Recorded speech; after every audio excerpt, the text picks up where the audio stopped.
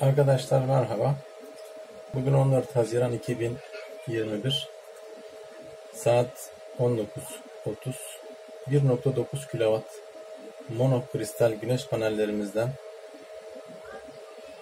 bulutlu bir havada saat 19.30 civarlarında çektiğimiz gücü sizlerle paylaşıyorum.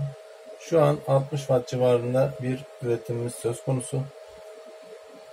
Havamızın kapalı olduğunu ve güneşin artık batmak üzere olduğunu hatırlatıyoruz.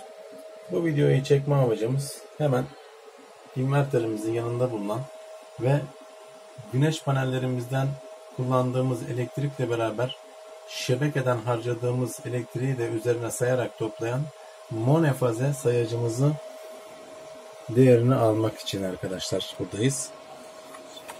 Şimdi bakıyorum evet biraz 1.80 değeri lazım bize. Evet arkadaşlar 890.736 6 ay 15 gündür üzerinden 890.736 watt geçmiş sayacımızın. Şimdi daire girişindeki şebeke sayacına gideceğiz ve ondan da bir değer alacağız arkadaşlar. Daha sonra e, yıl başından itibaren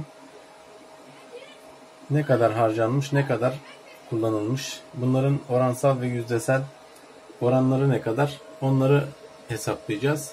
Şimdi videomuzu durduruyor ve aşağıya daire girişindeki ana sayaç panosuna gidiyoruz.